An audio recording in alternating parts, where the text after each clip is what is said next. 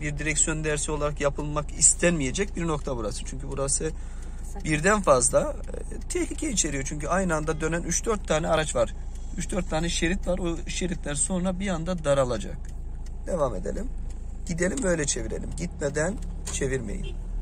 Evet.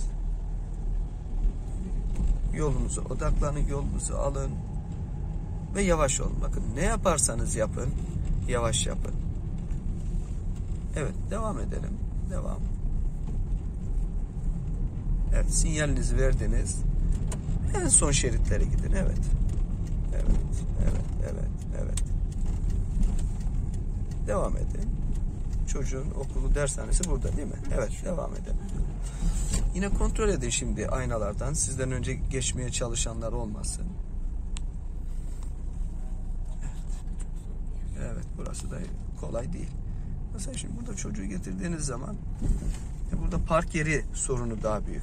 Trafikten çok park Evet, etme evet. sorunu Zaten çıkar. hemen indirip devam etmem lazım. Yoksa yani durup da bir yerde şey yapamam. Evet, ne yapalım biz? Sola dönelim buradan da. Evet, gözler döneceğimiz yerde karşıyı izleye izleye dönemeyiz. Böyle bir mümkün değil böyle bir şey. Hani size desem ki şöyle bir şey. İşte Duygu Hanım sağa bakın ama düz gidin. Dershane burası. Evet. Düşünsenize biri size dedi ki sağa bakarak düz böyle çizgiden ilerleyin dese mümkün, Mümkün değil değil. değil mi? Aynı şekilde. De. Evet, evet, aynen. Buradan mecburi sağ var. Mecburi sağ olduğu için sinyale gerek yok.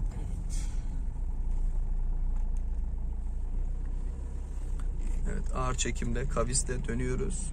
Dön ve kontrol et. Aynı zamanda dönün ve kontrol edin. Evet, güzel şerit kaçırmıyoruz. Burası da o Vatan Caddesi'ne çıkan Aynen. yer.